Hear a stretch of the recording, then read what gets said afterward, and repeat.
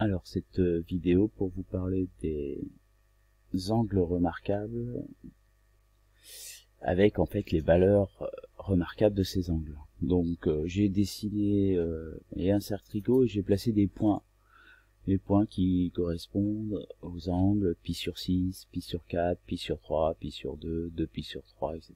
3 pi sur 4, 5 pi sur 6, pi, ou alors moins pi en sens indirect, donc, ce qu'il faut savoir, par cœur, c'est préférable, c'est que de, dans tous les angles qui existent, certains ont des valeurs remarquables. Et ces valeurs remarquables sont ici représentées dans un tableau que l'on appelle le tableau des valeurs remarquables. Alors déjà, faut repérer que seul dans le premier cadran, hein, ici, hein, parce que d'ailleurs ça peut être après un but d'exercice d'aller chercher les valeurs remarquables dans les autres cadrans, mais dans le premier cadran. Euh, seules les valeurs d'angle 0 radian, pi sur 6 radian, pi sur 4 radian, pi sur 3 radian et pi sur 2 radian ont des valeurs remarquables. Donc, pour l'angle 0 radian, le cosinus qui se lie en horizontal et le sinus qui se lie en vertical, je peux vous le rappeler. Hein, je vous rappelle que la lecture du cosinus, elle est ici en horizontal et que la lecture du sinus est en vertical. Donc pour 0 radian, on a 1 comme valeur de cosinus et 0 comme valeur de sinus.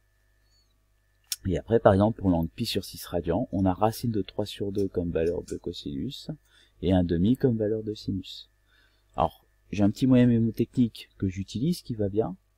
Bon, voilà, ça, ça oblige à prendre quelque chose par cœur quand même, mais 1, c'est aussi racine de 4 sur 2. Racine de 4 faisant 2, 2 sur 2 se simplifie, ça fait 1. Et quand vous regardez ici toutes les valeurs, vous avez une descente de 1 au niveau du numérateur sous la racine carrée. Vous voyez, racine de 4, racine de 3, racine de 2, racine de 1 qui fait 1, et racine de 0 qui fait 0.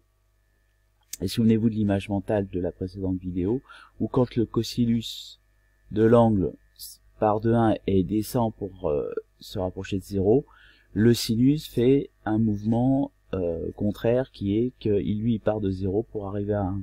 Donc les valeurs de sinus sont des valeurs qui sont les valeurs de que vous retrouvez au-dessus, mais qui sont mises dans l'autre sens en fait. Là où le cosinus descend pour arriver vers 0, ben le sinus monte pour partir de 0 vers 1. Donc 0, 1 demi qui est en fait racine de 1 sur 2, racine de 2 sur 2, racine de 3 sur 2, racine de 4 sur 2, qui fait 1. Donc voilà pour l'explication du, euh, du premier cadran avec les valeurs de les valeurs remarquables. Donc vous voyez par exemple il n'y a pas pi sur 5, pi sur 5 n'a pas de valeur de cosinus ou de sinus remarquable. Alors l'exercice qui vous des exercices qui vous seront proposés c'est par exemple ben, de trouver l'angle associé au point euh, je sais pas M6 par exemple. Euh, première question, donner la mesure principale. Alors euh, voilà, on est sur 3 pi sur 4. Et après, donner les valeurs exactes de cosinus 3 pi sur 4 et de sinus 3 pi sur 4. Donc faut savoir que toutes les valeurs qui sont là, donc par exemple si je vous fais ça, je vous dis qu'ici, cette valeur-là, je vais l'appeler numéro 1, cette valeur-là, je vais l'appeler numéro 2, cette valeur-là, je vais l'appeler numéro 3. Ben, le numéro 1, c'est 1 demi, d'accord? C'est en fait cette valeur-là. Le numéro 2, c'est racine de 2 sur 2, c'est celle-là. Le numéro 3, c'est celle-là. Eh ben, ici, vous avez la valeur numéro 1 avec un signe moins, vous avez ici la valeur numéro 2 avec un signe moins, la valeur numéro 3 avec un signe moins. Ici, vous avez aussi la valeur numéro 1, la valeur numéro 2, la valeur numéro 3. Donc, quand on vous pose ce genre de questions, il faut répondre avec l'une des 5 valeurs qui sont là, 1, racine de 3 sur 2, racine de 2 sur 2, 1 demi ou 0, avec un signe plus ou un signe moins. Donc par exemple, si on s'intéresse à cet angle-là, on fait que celui-là, on a dit donc l'angle qui correspond au point M6, c'est-à-dire l'angle 3pi sur 4.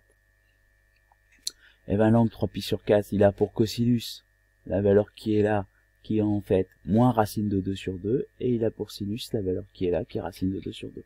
Donc je le marque. Donc par exemple, cosinus de 3pi sur 4 c'est égal à racine de 2 sur 2 et sinus de 3pi sur 4 est égal à racine de 2 sur 2. Euh, je sais pas, pareil, je ne pas, pas trop surcharger, mais je prends cet angle-là. L'angle qui est associé au point N13, ici. Donc, la première chose, faut trouver sa, sa valeur, c'est moins 2pi sur 3. Donc je vais chercher cosinus de moins 2pi sur 3 et sinus de moins 2pi sur 3.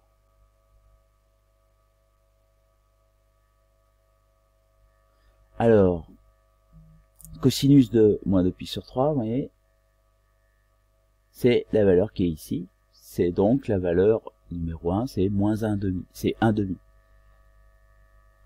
Dans le premier cadran, son cosinus est positif. Donc, cosinus de moins 2pi sur 3, ça va valoir 1 demi. Par contre, sinus de moins 2pi sur 3, c'est la valeur qui est ici. La valeur qui est ici, c'est la valeur qui est la plus proche du 1, qui correspond en valeur euh, absolue, sans signe, euh, ici à 3, cette valeur 3, qui est en fait racine de 3 sur 2. Mais dans ce cadre-là, on a moins racine de 3 sur 2. Alors bien sûr, toutes ces valeurs-là sont vérifiables à la calculatrice, pour peu qu'elles soient mises en bien en mode radian. Bon, voilà, voilà pour cette euh, petite vidéo.